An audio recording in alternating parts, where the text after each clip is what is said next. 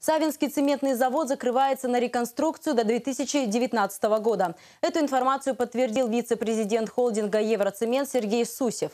Напомним, работники градообразующего предприятия цементного завода в Савинском обратились с открытым письмом к федеральным и региональным властям. Они просили обратить внимание на проблемы поселка. Большинство жителей трудились на этом предприятии, сейчас остались без работы. Тем временем руководство холдинга утверждает, что продукция завода имела большую себестоимость, и поэтому предприятие работало с большими убытками. В планах полная реконструкция. Я думаю, что к 2019 году мы получим новую площадку с новым продуктом. Это будет именно новый продукт, потому что он будет очень серьезно отличаться от того цемента, который сегодня производится на этом предприятии и, к сожалению, не пользуется э, спросом э, в различных регионах нашей страны.